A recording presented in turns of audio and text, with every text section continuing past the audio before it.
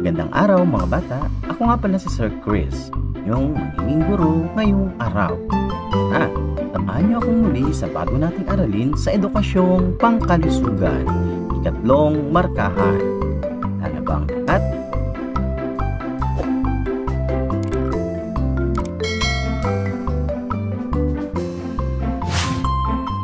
Health 3, Quarter 3, Week 1 to 2.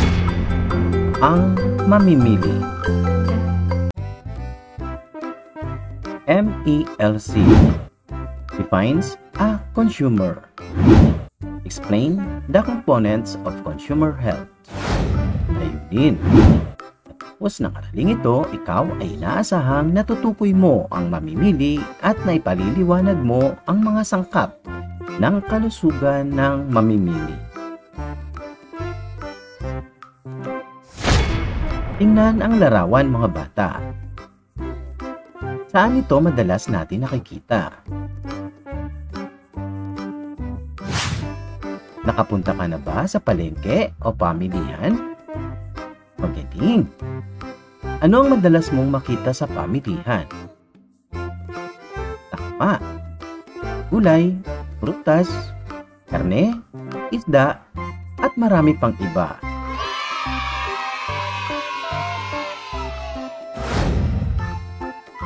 Pamilihan ay ating puntahan kapag tayo ay may kailangan o nais bilhin.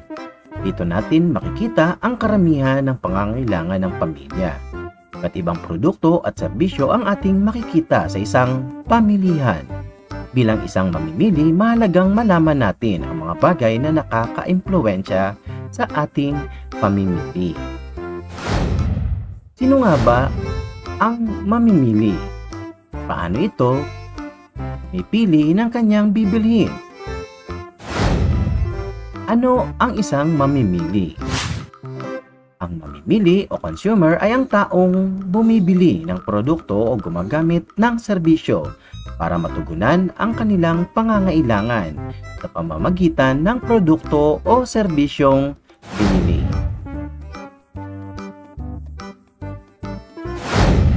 Sino ang mamimili?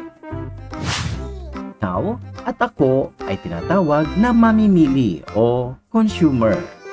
Alam niyo ba ito mga bata? Magaling! Tingnan ang mga larawan sa ibaba. Larawan ay nagpapakita ng ilang mga serbisyo na madalas nating ginagamit. Maaari mo bang pangalanan ng mga ito? Una, tama, pagpapabunot ng ngipin sa dentista. Dalawa, pagpapagupit ng buhok sa hairstylist o barbero. No? Pagsakay sa pampasahirong jeep. Ito ay ilan laman sa mga serbisyong madalas nating ginagamit.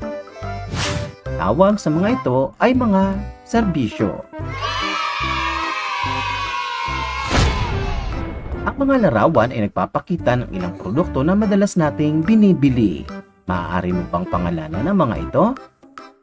Tara, subukan natin. Una, mga gulay. Pa, damit.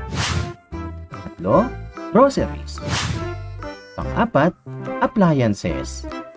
Ito ang madalas nating binibili sa palengke o saan man mga pamilihan na madalas nating binibili sapagkat ito ay mga pangangailangan. Tawag sa mga ito ay mga produkto. Ang kalusugan ng isang mamimili. Ang consumer's health ay tumutukoy sa mga desisyon na iyong ginawa tungkol sa pagbili ng produkto gamit ng impormasyong pangkalusugan at serbisyo na may epekto sa iyong kalusugan. Ano ang mga sangkap sa kalusugan ng mamimili? Una, impormasyong pangkalusugan.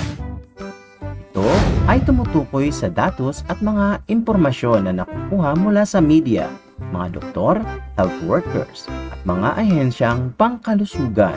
Halimbawa nito ay ang mga anunsyo mula sa Department of Health o DOH, medical records at iba pa.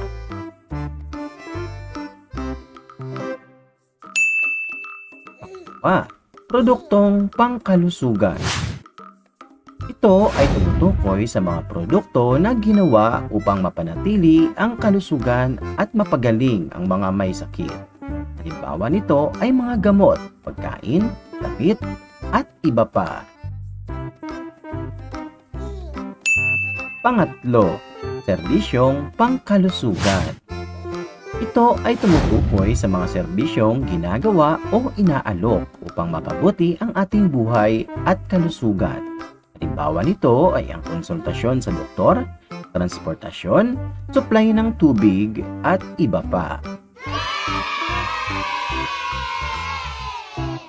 Tara, alamin naman natin ang mga salik na nakaka-impluensya sa pamimili. Na, produktong may promo. Madalas ang ating mga nanay ay bumibili ng mga produktong may promo sapagkat nakakamura tayo sa mga ito. Meron pang mga freebies. Pangalawa, pangalawa, produktong uso at ginagamit ng iyong mga kaibigan. Kalaman ng sapatos. Kung maganda ang kanyang sapatos at nagustuhan mo rin, maaring ikaw ay mapabili rin sa iyong nanay o kaya sa iyong tatay. Pangatlo, produktong may promo. Madalas, ang ating mga nanay, ate at kuya ay nagmamadali sa mga tinatawag nilang 11-11 sale. Madalas, ang ating inaabangang mga produkto ay mas mura kaysa sa regular na presyo kapag walang sale o promotion.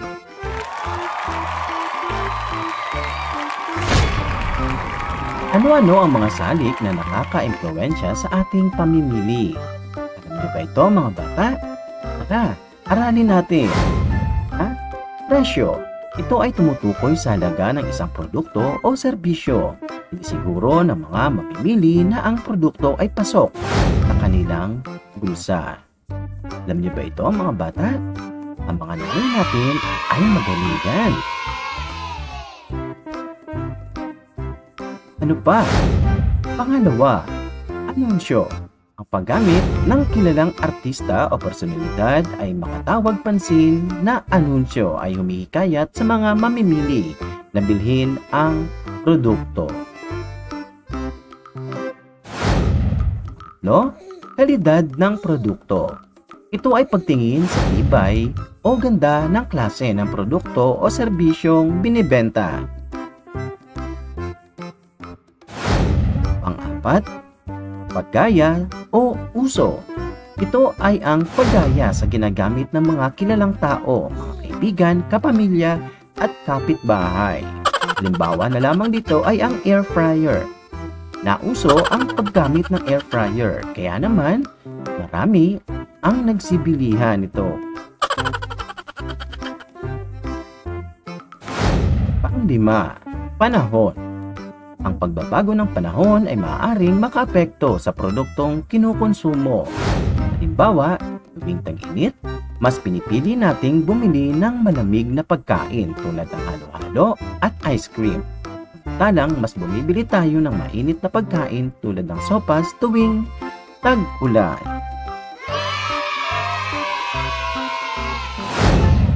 Pang-ani, kita. Ang kita ay tumutukoy sa halagang natatanggap ng isang tao kapalit ng serbisyo na kanyang ginagawa na ayon sa laki ng kita ng pamilya ang produkto o serbisyong kanyang binibili.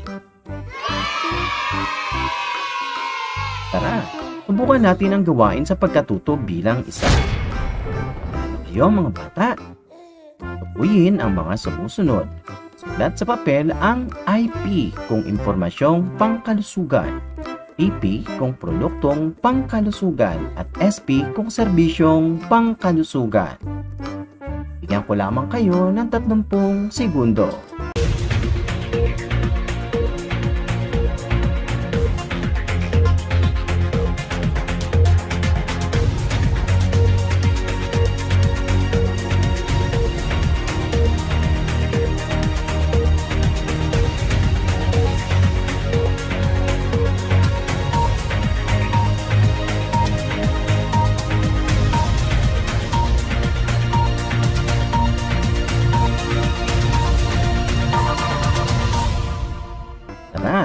Sagutin natin.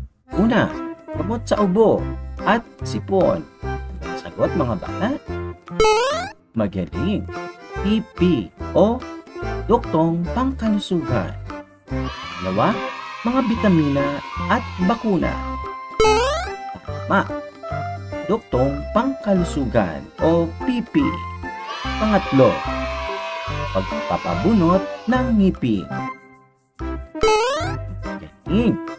SP o serbisyong pangkalusugan. Pang-apat, konsultasyon sa health center. Magaling. SP o serbisyong pangkalusugan. Pang-lima, mga paalala sa tamang paghuhugas ng kamay. Ano ang sagot mga bata? Magaling. IP Impormasyong pangkalusugan. Pang-anim, talaan ng iyong timbang, taas at kondisyong medikal. Ano ang sagot? IP Impormasyong pangkalusugan. Magaling. Pang-pito, kita tungkol sa dami ng nagkakaroon ng COVID-19. Ano ang sagot? Magaling. IP o impormasyong pangkalusugan. Pareho ba tayo ng sagot mga bata? Magaling! Gawain sa pagkatuto bilang dalawa. Nan ng wastong salita ang mga patlang. Piliin ang sagot sa kahon sa ibaba. Isulat ang sagot sa papel. Ibigyan ko lamang kayo ng 30 segundo.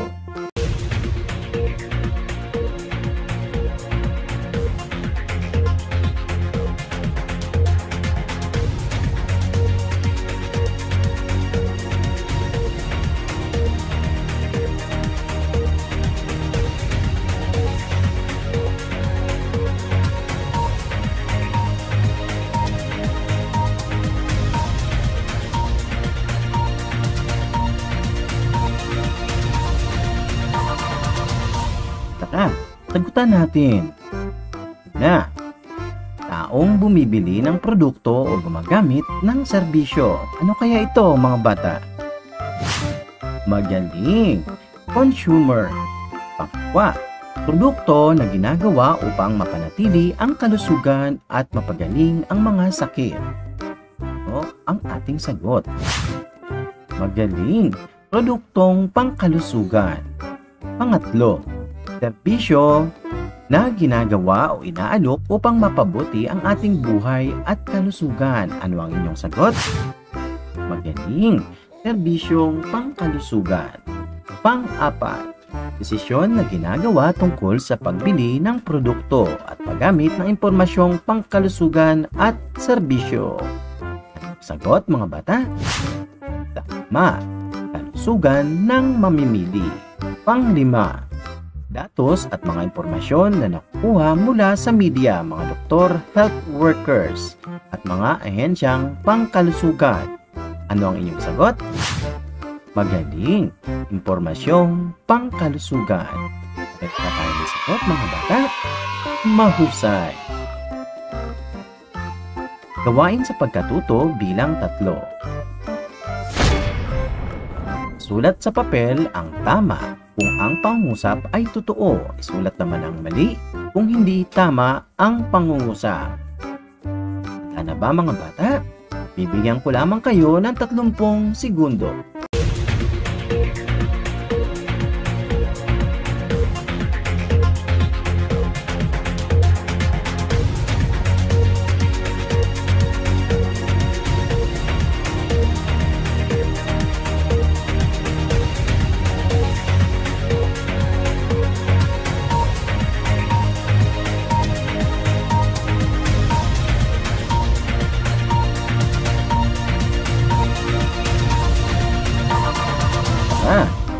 Sagutan natin.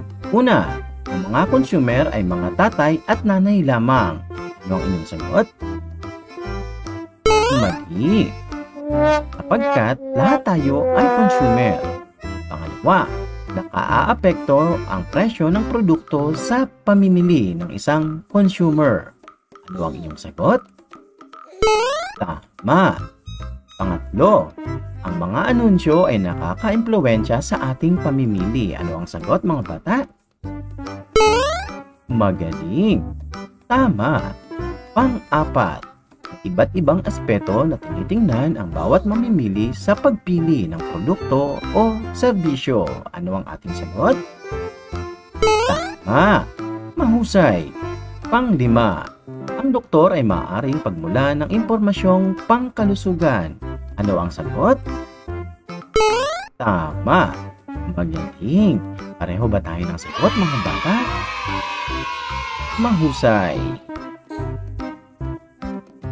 Gawain sa pagkatuto bilang apat. Pagtambalin ang hanay A sa mga salik na nakaka-impluensya sa pamimili. Sa hanay B, sulat ang letra ng sagot sa papel. Ano ba mga bata? Tara, gawin natin. Bibigyan ko lamang kayo ng 30 segundo.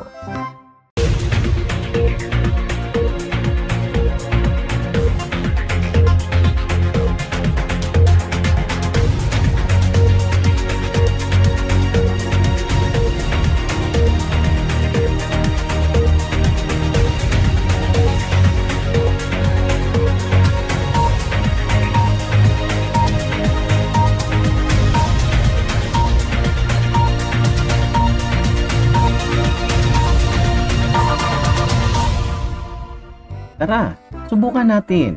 Number 1. Pagtingin sa halaga ng isang produkto o serbisyo. Ano ang tamang sagot mga bata? Magaling. Letter E. Presyo. Pangalawa, pagbili ng jacket tuwing taglamig. Ano ang sagot mga bata? Magaling. Letter C. Panahon. Pangatlo, pagbili ng damit na katulad ng suot ng paborito mong artista. Ano ang sagot mga bata? Tama. Letter D. Panggagaya. Apat. Pagbili ng inuming nakita mo sa ads sa Facebook. Sagot? Ah, letter A. Anunsyo. Ang lima. Pagpili ng isang produkto dahil ito ay matibay at tumatagal. Ano ang sagot mga bata? Magaling. Letter B. Kalidad ng produkto. Sino ang nakakuha ng lima? Mahusay. Gawain sa pagkatuto bilang lima. Ito ang inyong performance task para sa week 1. Kung ikaw ay bibigyan ng 100 piso, ano ang iyong bibilhin at bakit?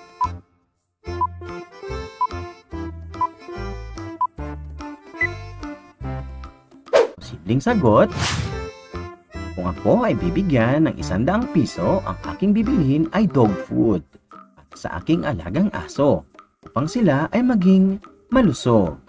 Ikaw, ano ang iyong sagot? Gawin ito sa iyong kwaderno. Pangalawa, ano ang nakaka-impluensya sa iyong pamimili ng bibilhin? Bakit ito ang iyong nasabi?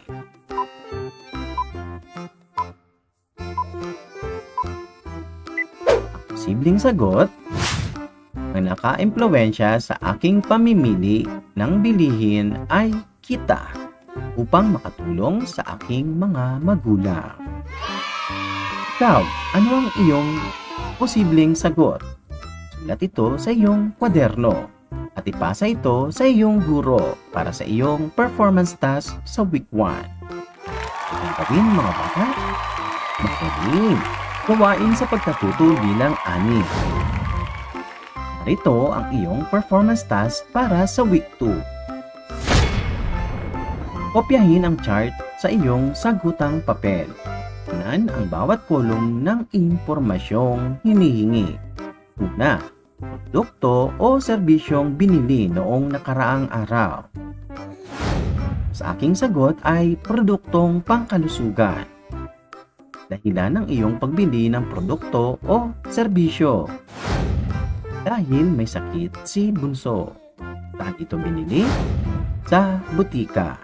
Ngayon, subukan nyo naman sa inyong mga kagutang papel. Tapos, magtala lamang ng dalawang impormasyon. Asa ito sa iyong guro para sa iyong performance task sa week 2. Kaya nyo ba itong gawin mga bata? Magaling! Tandaan, ang mamimili o consumer ay taong bumibili ng produkto o gumagamit ng serbisyo. Ang consumer's health ay ang desisyon na ginagawa tungkol sa pagbili ng produkto paggamit ng impormasyong pangkalusugan at serbisyo. Ang mga salik na nakaka-impluensya sa pamimili ay kita, presyo, anunsyo, kalidad ng produkto, paggagaya, at panahon. An mga bata.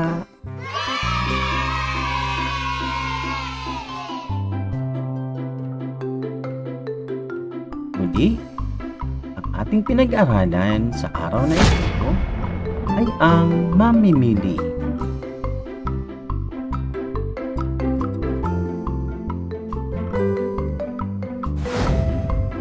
Dito nagtatapos ang ating aralin ngayong araw. Marami pa kayong natutuhan mga bata. Magaling!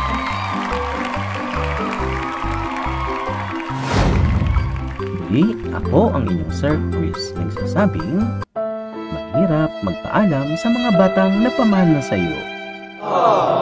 Mas mahirap magpaalam pagkalit ang nanay mo.